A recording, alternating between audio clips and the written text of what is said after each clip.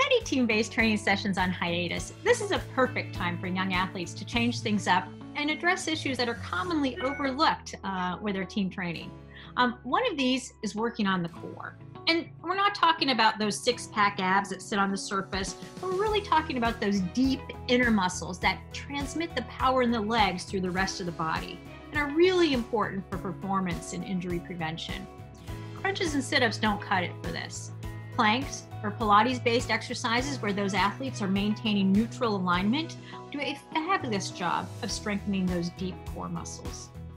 Balance is another often overlooked area of training for many young athletes, but it's really important for agility and performance and helps to prevent ankle sprains, which are the most common cause of injury in young athletes. And like any form of training, training balance should become progressively more difficult. And it's easy for athletes to do this on their own at home. Start with your eyes open and balance on one leg at a time. And when that becomes easy, try it with your eyes closed. And when that becomes easy, try a pillow or couch cushion and balance on that one leg at a time. As your balance improves, it's easy to engage family members. You can even turn it into a game by throwing and catching different objects while remaining balanced on a single leg.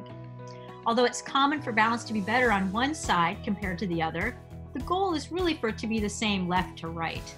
This is particularly important for anybody who has a previous injury to the knee, the ankle, or the foot, as that loss of balance is really the biggest predictor for additional injury.